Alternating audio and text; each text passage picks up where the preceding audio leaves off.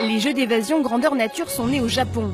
Il s'agit d'une adaptation dans la vie réelle de jeux vidéo ou encore de scénarios de films. Au cours d'un voyage en Égypte, vous tombez sur un tombeau oublié, celui du jeune pharaon Sipta. Vous êtes des enquêteurs pour Scotland Yard, parce que les bijoux de mamie ont disparu. On va vous envoyer à la Bastille en 1635. Contrairement au bowling, au paintball ou au laser game, dans cette attraction, les joueurs ne s'affrontent pas, mais progressent ensemble. Attends, mais attends, il y a des symboles. C'est cet esprit d'équipe qui plaît et explique en partie le succès du concept, encore inconnu il y a trois ans.